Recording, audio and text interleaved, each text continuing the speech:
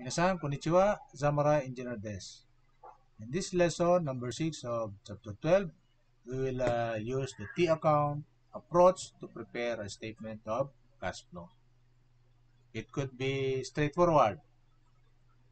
So, before preparing the cash flow, so to avoid what? To avoid uh, the uh, reoccurrence of mistake, uh, we can prepare a T account somewhat unscratched. Uh, a worksheet is also somewhat unscratched. A scratch sheet. So this is not a ledger, but a T account. A ledger is also a T account, but we can have unscratched T account for the purpose of preparation of cash flow. The change in cash is equal to the change in all the other balance sheet accounts. We analyze the changes in all of the non-cash balance sheet accounts. We will explain the uh, change in the cash account. So this is the idea behind this approach. Okay.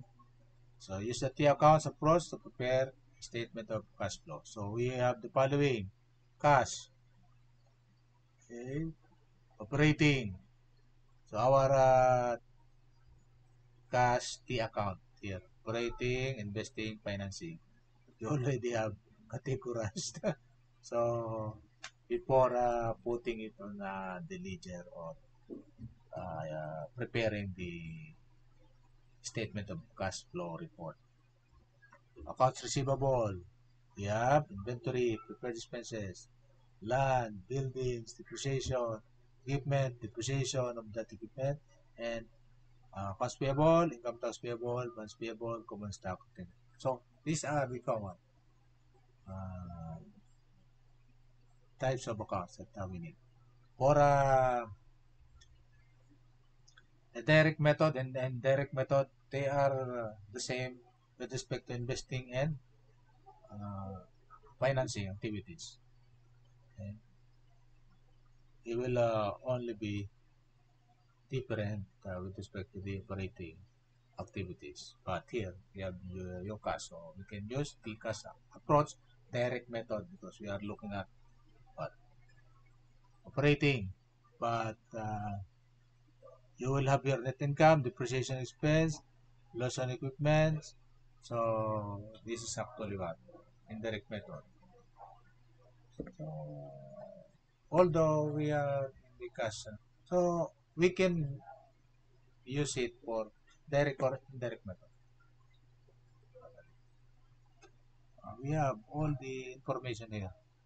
Inventory, prepaid expenses, income tax payable. So, these are on our what, indirect method accounts receivable, accounts payable, uh, net income. So they are in our uh, operating side of the statement of cash flow. Uh, just to recall, you can uh, go back to specific uh, discussion topics on lessons under this chapter.